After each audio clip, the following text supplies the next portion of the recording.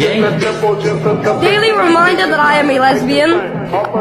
I am transgender.